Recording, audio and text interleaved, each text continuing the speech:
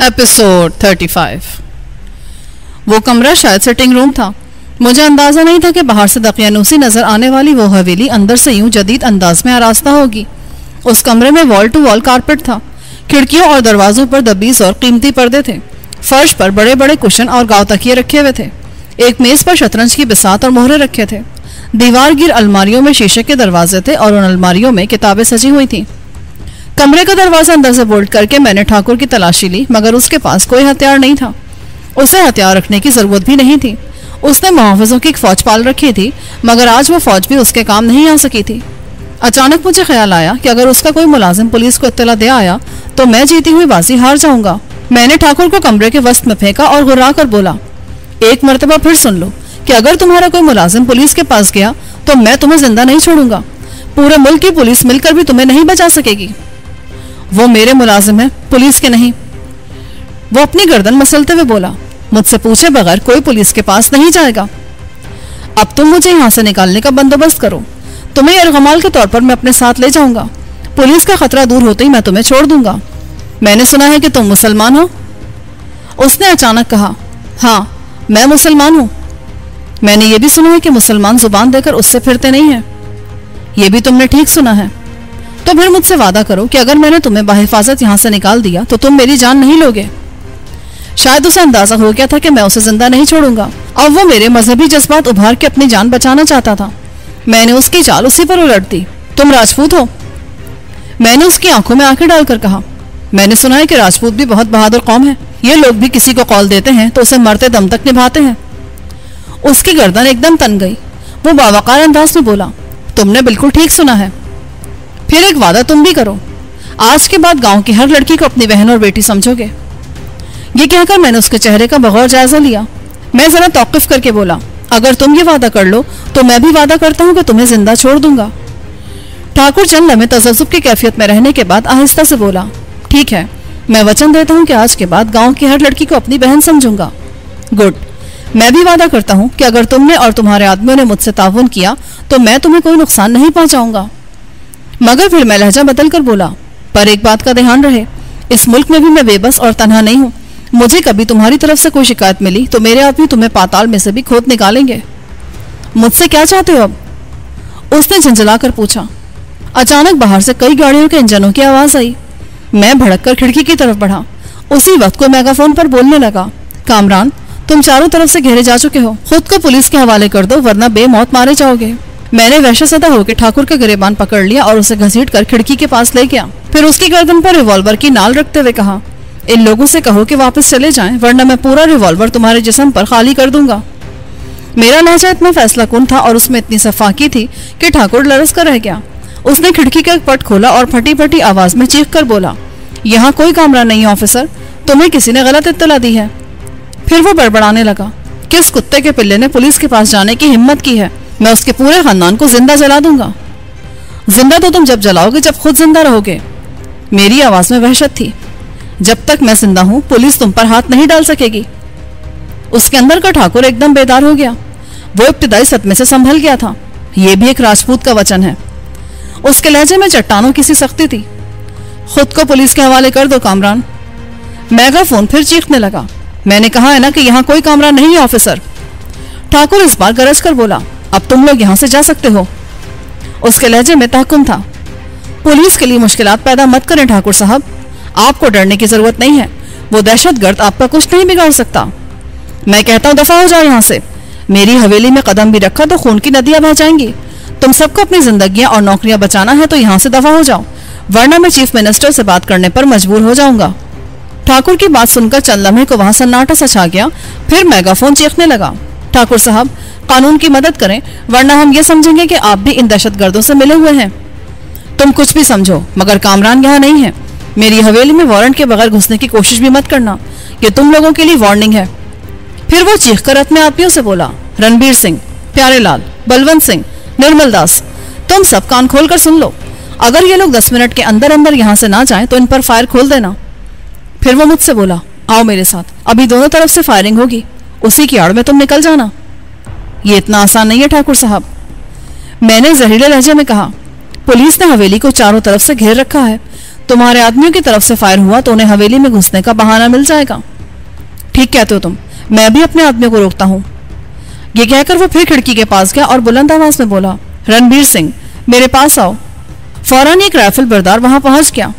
मैंने ठाकुर की गर्दन पर रिवॉल्वर रख दिया ताकि रणबीर सिंह हीरो बनने की कोशिश ना करे। पुलिस पर फायर नहीं करना। ये मैंने उन लोगों को धमकाने के लिए कहा है। जाकर अपने आदमियों को रोको। रणबीर सिंह दौड़ता हुआ दोबारा बाहर चला गया। ठाकुर अचानक चौंक उठा। उसकी आँखों में अजीब सी चमक थी। वो मुस्कुराकर बोला, मेरी अकल पर भी पत्थर पड़ गए हैं। हवेली से खुफिया रास्ता बाहर खेतों में निकलता है। मुझे तो उसका ध्यान ही नहीं रहा। बरसों पहले मेरे पुरखों ने जब यह हवेली बनाई थी तो यह खुफिया रास्ता भी बनाया था। उस रास्ते का पता सिर्फ़ रघु और रणबीर सिंह को है। रघु तो अब रहा नहीं। रणबीर को मैं साथ ले लूँगा, ताकि कोई खतरा ना रहे। तुम्हें आखिरी बार वार्निंग दी जा रही है, कामरान, कि खुद को पुलिस के हवाले कर दो। मेगाफोन पर बोलने वाली की आवाज़ में अब झंझलाहट थी। तुम्हें विश्वास है ऑफिसर के कामरान यहाँ है? ठाकुर ने चीख कर पूछा। हाँ हमें विश्वास है। दूसरा आदमी एक घंटा पहले पकड़ा जा चुका है। ऑफिसर ने जवाब दिया। यह सुनकर मुझे धचका लगा कि पुलिस ने एहसान को गिरफ़्तार कर लिया है। मगर उसका केस मुख्तलिफ़ नौयत का था।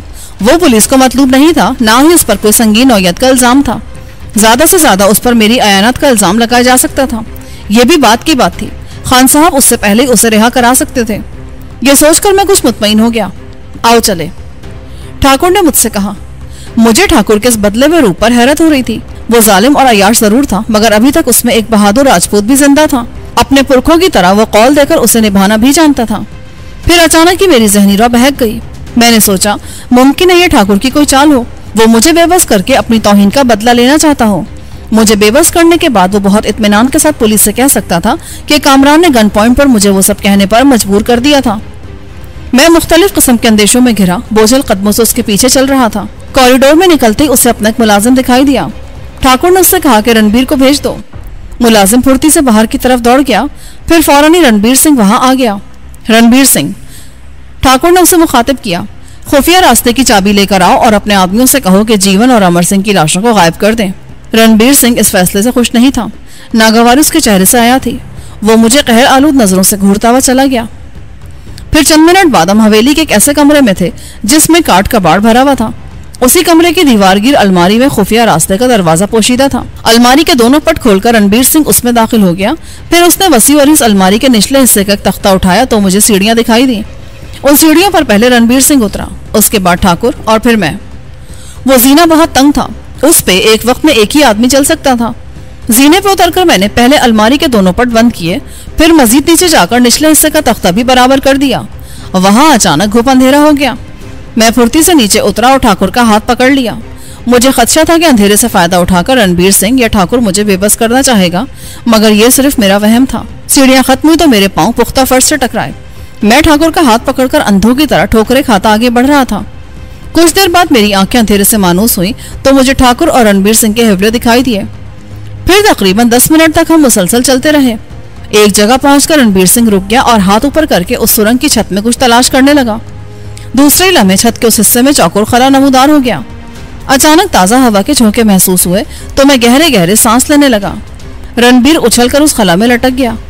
फिर उसने पूरे जिसम का बोझ हाथों पर डाला और माहिराना अंदाज में बाहर निकल गया। बाहर निकलने के बाद उसने हाथ बढ़ाकर ठाकुर को ऊपर घसीट लिया। फिर रणबीर सिंह के अंदाज में मैंने भी जंप लगाई और दोनों हाथों से दीवार पकड़ के झूल गया। फिर उसी की तरह मैं अपने जिसम का बोझ हाथों पर डालकर आहिस्ता आहिस्ता ऊपर उठने लगा। जो ही मेरे जिसम का ऊपरी हिस्सा बाहर निकला, कोई हेवला सा मुझ पर झपटा। मैंने चीते की तरह बर्फ़ रफ्तारी का मुजाहरा किया और पलक झपकते में बाहर निकल गया। मुझ पर झपटने वाला रणबीर था। मुझे बाहर निकलता देखकर उसने राइफल सीधी की और मेरा निशाना ले लिया। मैं हैरत से आँखें फाड़े रणबीर सिंह को घूर रहा था। मेरे बदतरीन अंदेशों की तस्दीक हो गई थी। फिर रणबीर सिंह ने राइफल को लोड किया और उसका सेफ्टी हटाने के बाद ट्रिगर पर उंगली रख दी। मैं आहिस्ता आहिस्ता कलमा पढ़ने लगा। मैं अभी निकालता हूँ तेरी दहशत गर्दी रणबीर सिंह ने जहरीले लहजे में कहा, तेरी इतनी हिम्मत कि तू ठाकुर साहब का गिरेबान पकड़े, उन्हें बेइज्जत करे। ठाकुर, मैं घुर्रा कर बोला ये सब क्या है? ठाकुर ने जोरदार कहकहा लगाया, तुम्हारे ख्याल में क्या होना चाहिए? तुम क्या समझते थे? मेरे आदमियों को मारने के बाद इतनी आसानी से निकल जाओगे? तुम राजपूत हो ना? मैंने तंजिया लहजे में पूछा हाँ मैं राजपूत हूँ, जब भी तो तुम्हें पुलिस के हवाले कर रहा हूँ। फिर वह हंसने लगा और हँसते हँसते बोला, वैसे अदाकारी कैसी थी मेरी? तुम जैसा ट्रेन दहशतगर्द भी धोखा खा गया। मैं जहाँ बैठा था, वहाँ की मिट्टी बहुत भुरभुरी थी। मैंने गैर महसूस अंदाज में मिट्टी से मुट्ठियाँ भर ली। फौरी तौर पर मुझे रणबीर सिंह से खतरा था। मुसल्ला सिर्फ़ वही था। मैं उस वक्त मुहावरतन नहीं, हकीकतन रणबीर सिंह की आँखों में धूल झोंकना चाहता था। मगर वो कम वक्त बहुत मोहतात था और किसी चीते की तरह चौकिन्ना खड़ा था। ये अगर कोई चाल थी तो बहुत घटिया चाल थी मैंने ठाकुर को बातों में उलझाने की खातिर कहा, राजपूत कम अज कम बुजदिल नहीं होते थे। अब शायद होते हो। बहुत ज़्यादा बकवास सुन चुका हूँ मैं तेरी। ठाकुर तपे हुए लहजे में बोला, पुलिस के हवाले करने से पहले तुझे अधमुआ तो मैं करूँगा। फिर वो ताकुम आमेज लहजे में रणबीर सिंह से मुखातिब हुआ, इस दहशतगर्द के हाथ पाँव बांधकर हवेली में ले आओ। जो हुकुम, मालिक? रणबीर सिंह ने कहा और आहिस्ता आहिस्ता मेरी जाने बढ़ने लगा। वो जानता था कि मैं बिल्कुल खाली हाथ हूँ, इसीलिए वो बहुत बातमाद होकर मेरी तरफ़ बढ़ रहा था। वो मेरे बिल्कुल सामने आकर ठहर गया और दुरुस्त लहजे में बोला, अपने हाथ ऊपर उठाकर खड़े हो जाओ, महाराज। मैं भी यही चाहता था। बैठे बैठे उसकी आँखों में धूल झोंकना बहुत मुश्किल था। मैं खड़ा हो गया। मेरे दोनों हाथ भी ऊपर उठे हुए थे। रणबीर सिंह का चेहरा पूरी तरह मेरी जद में था। मैंने अचानक दाया हाथ लहराया और रणबीर की आँखों में मिट्टी डाल दी। उसके साथ ही मैंने फुर्ती से अपनी जगह छोड़ दी। रणबीर सिंह बौखलाकर फायर भी कर सकता था, मगर रणबीर सिंह को फायर करने का होश ही कब था? वो मुझे इंतहाई फहश गालियाँ दे रहा था और बुरी तरह आँखें मसल रहा था। मैं बिजली किसी सूरत से उसके अकब में पहुँचा और दाएँ हाथ से उसकी गर्दन दबोच ली। बाया हाथ मैंने राइफल पर डाल दिया। दूसरे लम्हे राइफल मेरे हाथ में थी। रणबीर सिंह तड़प कर बैठा। मैंने राइफल के बट से उसके सर पर जरब लगाई, फिर उसे देखे बगैर ठाकुर के पीछे दौड़ लगा दी, क्योंकि बाजी पलटते देखकर वो एक तरफ़ भाग निकला था। मैंने आधे मिनट से भी कमर से में उसे जा लिया। मौत से बच के भी कभी कोई भाग सका ठाकुर, जो तुम भाग रहे हो। मेरे पास वक्त नहीं है, वरना मैं तुम्हें दौड़ा दौड़ा कर मारता। अब बताओ, मोहब्बत और जंग में क्या जायज़ होता है, ताकि उसकी रोशनी में तुम्हें सजा दी जा सके? सुनो कामरान ये सब उस रणबीर सिंह का हरामीपन था। ठाकुर थके थके लहजे में बोला, मैंने उसके मुँह पर एक थप्पड़ जड़ दिया। जलील कमीने, उसने तेरी खातिर, बल्कि तेरे खाए हुए उस नमक की खातिर जान दाव पे लगा दी और तू इसे हरामीपन कह रहा है। उसने मेरी हुक्म अदूली क्यों की? मैंने, बस बस, ज़्यादा ड्रामा मत करो ठाकुर, मैं तुम्हें ज़िंदा नहीं छोड़ूँगा। मैं साफ़ साफ़ बात करने का आदि हूँ, इसीलिए तुम्हें बता रहा हूँ। देखो, गलती मेरी ये थी कि बकवास बंद करो। मैं अब कोई सफ़ाई सुनने को तैयार नहीं हूँ। बस अब इस दुनिया को आखिरी बार अच्छी तरह देख लो। मेरी बात सुनो कामरान। मेरी मदद के बगैर तुम यहाँ से नहीं निकल सकोगे। मैं तुम्हें हिफाजत से बाहर भी निकालूँगा और इतना पैसा दूँगा कि तुम्हारी साथ पुश्ते बैठकर खाएँगी। इतना पैसा है तेरे पास? मैंने तजी कामेज अंदाज में कहा, मेरे पास रुपए पैसे की कमी नहीं है। मेरे पुरखों ने जो दौलत हीरो और जवाहरात की शक्ल में छोड़ी थी, वो अभी तक मौजूद है। तुम वो सब ले जाओ। मैंने उसके मुँह पर फिर एक जोरदार थप्पड़ जड़ दिया। वो तो खैर मैं ले ही लूँगा। पर मैं तुझे ज़िंदा नहीं छोड़ूँगा। मैंने गुर्रा कर कहा और अचानक राइफल फेंक कर उसकी गर्दन दबोच ली। मैं फायर करके पुलिस को अपनी तरफ़ मुतवजो नहीं करना चाहता था। मेरी बात तो सुनो कामरान, मैं उसकी आवाज़ हलक में घुट कर रह गई। मैंने पूरी कुत से उसकी गर्दन दबोच ली। फिर मैं उसकी गर्दन पर दबाव बढ़ाता ही चला गया। वो बुरी तरह तड़प रहा था, हाथ पाँव मार रहा था। फिर आहिस्ता आहिस्ता उसकी मजामत में कमी आने लगी। मुझ पर उस वक्त खून सवार था। ठाकुर की आँखें हल्कों से बाहर उबली पड़ रही थी। ज़ुबान कुत्ते की तरह बाहर लटक रही थी। फिर वह अचानक साकित हो गया। मैंने बेदर्दी से उसे ज़मीन पर फेंक दिया। उसका जिसम आड़ा तिरछा ज़मीन पर पड़ा था। कुछ ही फासले पर उसका जानेसार मुलाजिम रणबीर सिंह पड़ा था। वो भी शायद जान से गुजर गया था। मैंने आगे बढ़कर उसका जायजा लिया। वो ज़िंदा था। राइफल के बट से उसका सर ज़रूर फट गया था, मगर खून जाया नहीं हुआ था। उसकी सांस भी हमवार थी और नफ्स भी नॉर्मल अंदाज में चल रही थी। मैंने चंद लम्हों तक गौर किया कि उसके साथ मुझे क्या सलूक करना चाहिए। अगर मैं उसे यूँ ही छोड़ देता तो होश में आते ही वो पुलिस को बता देता कि कामरान किस तरफ़ गया है। मुझे भी अंदाज़ा नहीं था कि मैं गाँव में किस जगह खड़ा हूँ। मैंने कुछ आगे बढ़ के इर्द गिर्द का जायजा लिया। जहाँ मैं खड़ा था, वहाँ से कुछ फासले पर खेतों का सिलसिला शुरू हो रहा था। ज़्यादा सोचने का वक्त नहीं था। थोड़ी ही देर में उजाला फैलने वाला था।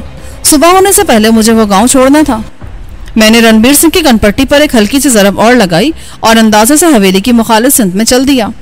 रणबीर सिंह कम अज कम मजीद एक घंटे के लिए अंडा गफील हो गया था। मैंने उसकी राइफल नाकारा करके वहीं छोड़ दी। मुझे यह भी खतरा था कि कहीं कोई गाँव वाला मुझे ना देख ले। गाँव के लोग तो यूँ भी मुँह अंधेरी बेदार हो जाते हैं। चलते चलते मुझे ऐसा लगा जैसे वो जगह मेरी देखी हुई है। फिर अचानक मुझे हरी चाचा की झोपड़ी नज़र आ गई। मैं तेज़ी से उसी की तरफ़ बढ़ गया। मेरी दस्तक के जवाब में दरवाज़ा हरी चाचा नहीं खोला। वो मुझे देखकर हैरान रह गए। मैंने हंसकर कहा, इतनी हैरानी से क्या देख रहे हो चाचा? मैं कामरान हूँ, उसका भूत नहीं। उसने मुझे जल्दी से अंदर घसीट लिया और सरगोशी में बोला, आहिस्ता बोल बेटे, पुलिस यहाँ से अभी गई नहीं है। फिर वो चौंक कर बोला, मगर तुम हवेली से बाहर कैसे निकले? हवेली को तो पुलिस ने घेर रखा है। बस, किसी न किसी तरह निकल ही आया। मैंने जवाब दिया, तुम जरा ये मालूम कर लो कि पुलिस गाँव से बाहर तो मौजूद नहीं है। अभी पृथ्वी शहर से आया है। गाँव से बाहर जाने वाले रास्ते पर पुलिस की गाड़ी खड़ी है। हरी ने जवाब दिया, मैंने ये नहीं पूछा कि पृथ्वी कौन है और इस वक्त शहर से क्यों आया है। यहाँ से बाहर निकलने का कोई और रास्ता भी है क्या? मैंने मुस्तरब होकर पूछा, क्योंकि वक्त बहुत तेज़ी से गुजरता जा रहा था। कई रास्ते हैं। फिर मुझे कोई ऐसा रास्ता बता दो जहाँ पुलिस का खतरा ना हो। ठीक है, आओ मेरे साथ। हरी चाचा ने कहा, फिर कुछ सोच कर बोला, ये खेस तुम अच्छी तरह लपेट लो। उन्होंने पलंग की पायती में रखा हुआ खेस उठाकर मेरे हवाले कर दिया। फिर हम एक लंबा चक्कर काटकर मुखालिफ सिंध में जा निकले। हरी चाचा ने बताया कि अब हम गाँव से बाहर निकल आए हैं। फिर उसने एक पगडंडी की तरफ़ इशारा किया और बताया कि यही पगडंडी पकड़कर चले जाओ। एक घंटे में बड़ी सड़क पर पहुँच जाओगे। वहाँ से तुम्हें कोई लारी या ट्रक इलाहाबाद पहुँचा देगा।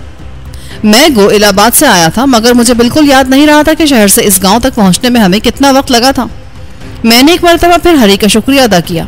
उससे रुखसत होकर मैं लंबे लंबे डिग भरता रवाना हो गया। उस वक्त मुझे ये इतमान था कि मैं एक घंटे में मेन रोड तक पहुँच जाऊँगा। पुलिस अगर मेरे पीछे आई भी तो उसी रास्ते से आएगी जिसे गाँव वाले इस्तेमाल करते थे। ये रास्ता शायद निस्बतन लंबा था, इसीलिए लोग उसे इस्तेमाल नहीं करते थे। सुरंग से बाहर आते हुए रिवॉल्वर भी मेरे हाथ से गिर गया था और रणबीर की राइफल मैंने जानबूझकर नहीं ली थी, इसीलिए मैं एक बार फिर निहत्ता था।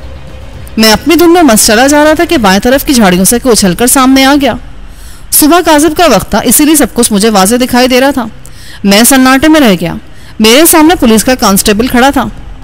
इस समय किधर से आ रहे हो? अरे, गाँव से आ रहे हैं और कहाँ से आएँगे? मैंने घबराने की अदाकारी की। कौन से गाँव से? मैं एकदम सटपटा गया। मैंने उस गाँव में कई घंटे गुजारे थे, मगर मुझे वहाँ का नाम तक मालूम नहीं था। मैं गलत नाम लेता तो वो मुझे मशकूक समझकर धर लेता। मैं संभल कर बोला, अरे, हमारा रास्ता काहे खोटा करत हो भैया? हम ठाकुर साहब के गाँव से आ रहे हैं। फिर मैंने चौंकने की अदाकारी की। मगर भैया, ये लफड़ा क्या है? उधर गाँव में भी बहुत पुलिस आई थी। कोई वारदात हो गई है क्या? कांस्टेबल ने एकदम उस पर राइफल तान ली और करख लहजे में बोला, अपने हाथ ऊपर उठाओ और आगे आगे चलो। मगर काहे? अभी जान जाओगे सब कुछ। कौन हो तुम और कहाँ से आए हो? हम मोहन और बकवास बंद करो। कांस्टेबल ने चीखने की कोशिश की तो उसे खांसी आ गई। चलो इस तरफ़। उसने राइफल से इशारा किया। ये एक नई उस्ताद गले पड़ गई थी। वो ना जाने मुझे कहाँ ले जा रहा था। मुमकिन है वहाँ उसके और साथी भी मौजूद हों। मैंने उस कांस्टेबल से वहीं निमटने का फैसला कर लिया। मैं चलते चलते बुरी तरह लड़खड़ाया। वो मुझसे चंद कदम पीछे था। मैं रुका तो वो एकदम मेरे नज़दीक पहुँच गया। उसे गुमान भी ना होगा कि मैं निहत्ता होकर उस पर हमला करने की ज़रूरत करूँगा। मैं बिजली किसी तेज़ी से पलटा और राइफल की नाल दोनों हाथों में जकड़कर कांस्टेबल को जोरदार झटका दिया। दूसरे लम्हे राइफल मेरे हाथ में थी। मैंने राइफल एक तरफ़ उछाली और इससे पहले कि वह हलक से कोई आवाज़ निकालता, मैंने उसके मुँह पर हाथ जमा दिया। दूसरे हाथ से मैंने उसकी कनपट्टी पर हल्की सी सरब लगाई। वो मेरे हाथों में झूल गया। यह सारी कार्रवाई एक मिनट से भी कम वक्त में हो गई। मेरी समझ में नहीं आ रहा था कि अब क्या करूँ।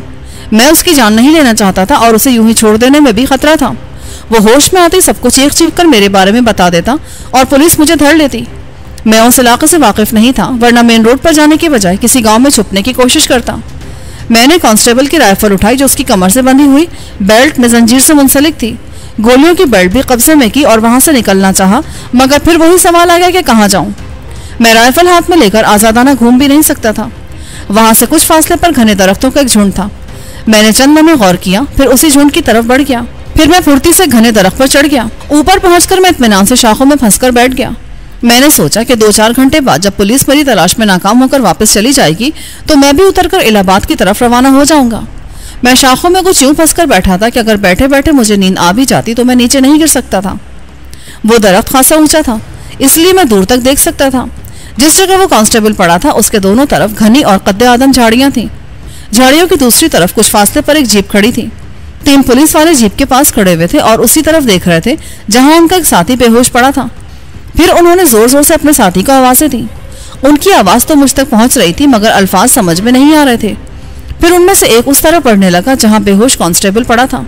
मैंने खुद को अच्छी तरह पत्तों में छुपा लिया था। उसी वक्त बेहोश कांस्टेबल को भी होश आ गया और वो चीख चीख कर अपने साथियों से कुछ कहने लगा। उसकी बात सुनकर वो सब उजलत में जीप की तरफ़ भागे। फिर दो आदमी वहीं रह गए और दो जीप में बैठकर रवाना हो गए। वो लोग यकीनन मेरी तलाश में गए होंगे। जाने वालों में वो भी शामिल था जो मेरे हाथों बेहोश हुआ था। मैं दरख्त पर बैठा उनकी सरगर्मियाँ देख रहा था। रह जाने वाले दोनों कांस्टेबल शदीद बोरियत का शिकार थे और उगताए हुए अंदाज में इधर उधर देख रहे थे। तकरीबन आधे घंटे बाद जीप वापस आ गई। वो लोग आपस में कुछ देर सलाह मशवरा करते रहे, फिर मुख्तलिफ़ सिमतों में जाकर मुझे नए सिरे से तलाश करने लगे। उनकी ये तलाश काफ़ी देर तक जारी रही। मेरा अंदाज़ा था कि उन्होंने कम अज कम डेढ़ पौने दो घंटे तक मुझे तलाश किया है। उस वक्त सूरज खासा ऊपर चढ़ा आया था और हर तरफ़ सुनहरी धूप फैली हुई थी। अगर मैं नामसायद हालात का शिकार ना होता तो जी भर के एंजॉय करता। वो मंजर बहुत दिलकश था। दूर दूर तक हरे भरे लहलहाते खेत थे। खेतों में काम करते हुए किसान थे और मिट्टी से उठने वाली सौंधी सौंधी महक थी, मगर मैं उस मंजर से लुत्फ नहीं उठा सकता था। फिर वो सब एक एक करके जीप के पास पहुँच गए। उनके चेहरों पर गुस्सा, झंझलाहट और मायूसी के तासुरात थे। वो सब जीप में बैठकर गाँव की तरफ़ रवाना हो गए। गाँव की तरफ़ से अभी तक कोई पुलिस वाला बाहर नहीं निकला था। वो लोग अभी तक वहाँ क्या कर रहे थे? फिर मैंने सोचा, मुमकिन है वो लोग दूसरे किसी रास्ते से निकल गए हों। इस ख्याल को मैंने खुद ही रद्द कर दिया। उन्हें अब तक ठाकुर की लाश मिल चुकी होगी। रणबीर सिंह ने भी ठाकुर के कत्ल को बढ़ा चढ़ाकर बयान किया होगा। अचानक गाँव की तरफ़ से गर्द के एक बादल से उठता दिखाई दिया। फिर एक एक करके पुलिस की छह जीपें वहाँ से गुजरी तो खेतों में काम करने वाले सर उठा उठाकर उन्हें देखने लगे।